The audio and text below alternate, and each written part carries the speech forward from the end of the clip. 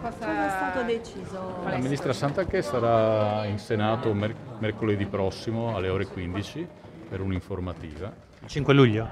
Sì, sì, mercoledì sì, prossimo, mercoledì cioè, sì, il è una 5 esattamente. informativa. E ringrazio la ministra Santanchè della sua disponibilità perché non era tenuta questa informativa a fronte di un caso che si è creato soltanto al momento per una questione legata a una trasmissione televisiva, quindi la ringraziamo della sua disponibilità. Viceversa, il governo ha ritenuto non accoglibile la richiesta dell'opposizione di sottoporre la ministra Santanchè a un fuoco di fila del- durante il question time. Era un'ipotesi che abbiamo rigettato, Primo perché il question time era già de- definito con la presenza di altri ministri, Nordio e Bernini. In secondo luogo perché il question time richiesto dall'opposizione sarebbe trasformato in un tiro al bersaglio contro il ministro, perché il question time è strutturato in maniera tale che l'interrogato è sempre in posizione di difficoltà, diciamo, subalterno a chi, a chi interroga. Quindi abbiamo rigettato questa ipotesi, l'informativa mi pare lo strumento più adatto per consentire alla ministra di spiegare e a tutti di poter intervenire. Con lavori- televisiva no? Non è stata Mm, chiesta? No, non è stata chiesta. Eh, Ministro, ma metterete la fiducia sul DL enti? Sì, sì, sì. Quando? Domani inizia il dibattito domani mattina e poi alla fine del dibattito il- la fiducia.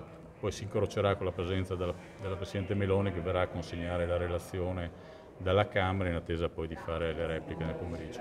Quindi Ehm, però ci sarà il voto ah, già domani, immaginate, scusi solo per eh, Sul, decreto? Sì, sì, sì, domani in tarda mattinata.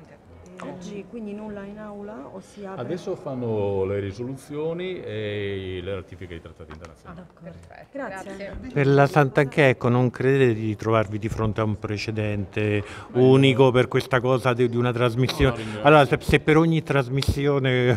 lo- no, beh, è un dubbio che mi è venuto a me. ecco. No, ha ragione, infatti il Presidente del Senato ha ribadito che non si tratta di un precedente, si tratta di un'eccezione dovuta alla disponibilità della Ministra che in assenza anche di una mozione di sfiducia o comunque di un altro atto parlamentare ha dato la disponibilità a un'informativa, non costituisce un precedente e quindi questo è stato chiarito molto nettamente dal Presidente del Senato.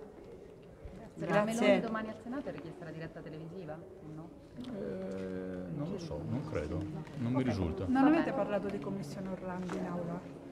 In eh, Ah, sì, capogruppo? sì. No, no. Ok, grazie. Invece abbiamo visto che in CDM vanno altri due DL. Lo scopriremo alle ore 18. No, diciamo che l'ordine del giorno questo recita. Sì, però alle ore 18 eh, discuteremo di questo. Qui- Ah, ok. quindi non avete, neanche, non, non avete stabilito, cioè aspettate la prossima capigruppo per definire di mandare in aula la commissione Orlandi?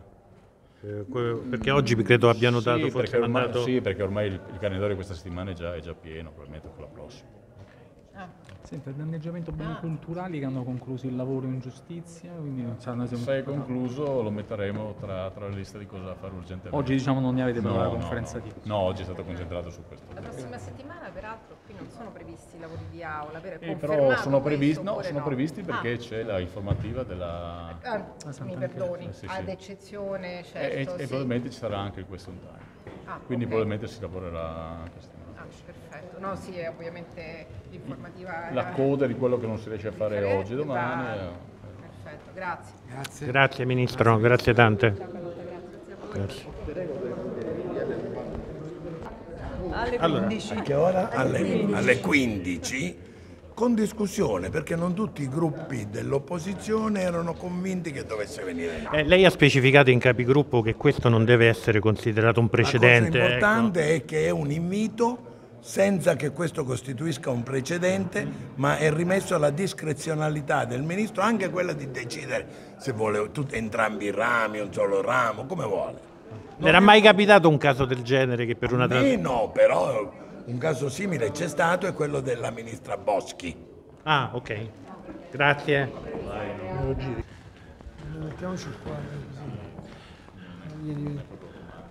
Allora, Presidente, Presidente Boccia, eh, il, il- il Ministro Santanchè verrà a riferire mercoledì eh, 5 luglio.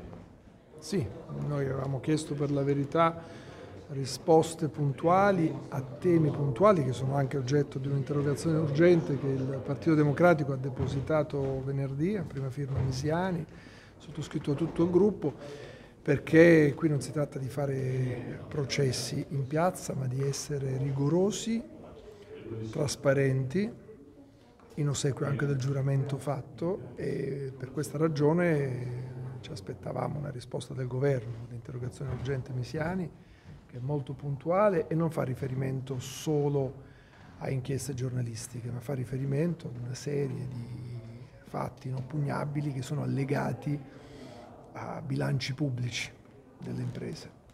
Per questa ragione avevamo chiesto risposte puntuali a domande puntuali che il Partito Democratico ha posto. E questo era possibile ed è possibile con eh, gli strumenti sindacato ispettivo noi abbiamo proposto o con il question time, eh, ma il governo non è stato d'accordo e ora ci sarà un'informativa mercoledì eh, al Parlamento, certamente qui al Senato, eh, non sappiamo se anche alla Camera, ma quello che deve essere chiaro è che eh, noi chiediamo chiarimenti rispetto a tutti i punti controversi che sono sotto gli occhi di tutti. E segnaliamo, questo è un altro tema che troviamo molto imbarazzo nella condizione in quel Parlamento perché anche oggi è arrivato un decreto importante come quello con il quale questo governo ha con un tratto di penna cancellato i vertici di Inps e INEIL. Il decreto enti. Certo. Eh, che, che, che, però è, è un decreto che ha cancellato i vertici di enti che avevano lavorato molto bene, tra l'altro, e, e, oggi questo decreto è arrivato a mezzogiorno, è stato unilateralmente deciso un termine di emendamenti di due ore, questa cosa l'abbiamo trovata inaccettabile. Eh, il governo non riesce, nonostante dicano di avere una maggioranza coesa, non riescono nemmeno a fare una discussione seria perché hanno annunciato la questione di fiducia che sarà posta domani e purtroppo il Parlamento è diventato un passacarte di un governo che è diviso su tutto e questa cosa la troviamo inaccettabile. Ecco, sulla Sant'Anché è stato specificato che questo, questa informativa del Ministro non può rappresentare un precedente e poi vi riservate, dopo aver sentito il Ministro, di dare vita ad altre iniziative come una mozione di sfiducia individuale? Guardi, questo dipende veramente dalle risposte. Noi abbiamo presentato un'interrogazione urgente molto puntuale che non, è, eh, che non segue né i binari del giustizialismo connesso a vicende giudiziarie che non conosciamo e che seguono il loro corso e, e né segue una modalità diciamo sensazionalistica che trasforma eh, un'inchiesta giornalistica eh, seria ma in, una, in un atto parlamentare. No, noi chiediamo la verità e chiediamo che questo approccio di rigore e trasparenza sia un approccio che il governo debba utilizzare su ogni cosa. Siccome i ministri giurano sulla Repubblica e lo fanno impegnandosi con onore e disciplina a rispettare la Repubblica italiana, vogliamo una risposta per ogni punto della nostra interrogazione. Ci auguriamo che questa cosa avvenga e che si chiarisca questa storia in maniera molto trasparente. Se non dovesse essere così, valuteremo tutte le, le opzioni possibili alternative. Grazie Presidente, grazie a Francesco Boccia.